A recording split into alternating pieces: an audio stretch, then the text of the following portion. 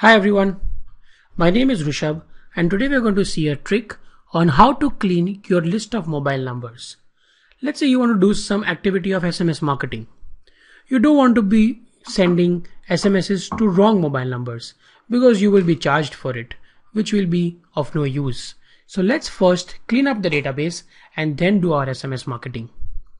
This is a list of mobile numbers that I have you can observe that all of them are not 10 digits.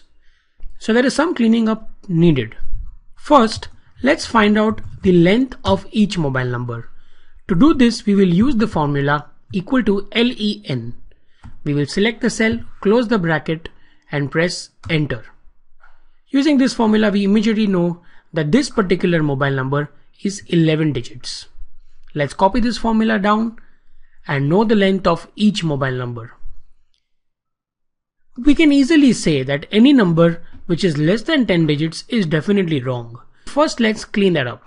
Let's sort the data according to the length in ascending order.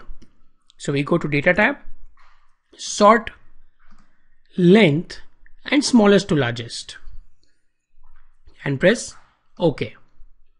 Now we know that these particular file mobile numbers are less than 10 digits and we can immediately delete them. So let's select the rows right click delete.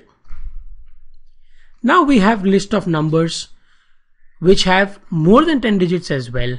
That is 11 and 12 but if you observe the ones with 11 digits have a 0 in the beginning which is not wrong.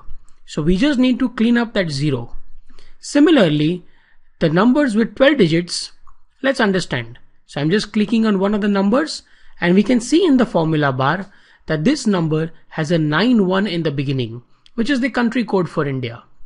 So the mobile number is again not wrong. We simply have to clean that 91. In other words, from all the mobile numbers, we have to keep only the last 10 digits and remove whatever is before that. This can be done using the formula RIGHT. So what this formula will do is equal to RIGHT, take the cell comma, put 10 as number of characters.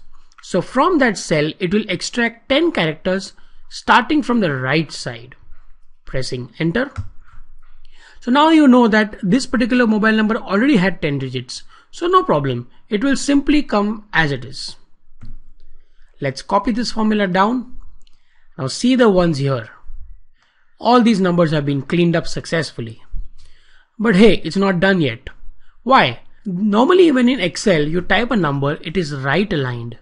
But here you see them left aligned. Meaning there is some problem in the format of the data. Let's clean that up. How you can do that is using paste special. Somewhere outside type 1. Copy that 1.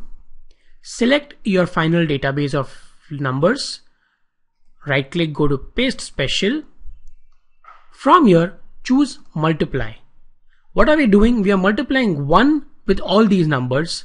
In other words, we are keeping these numbers as it is, but changing the format to make it a number format. Press OK. We are done. We don't need this one anymore. Let's delete it. So now this is the final mobile numbers list. Thank you for watching.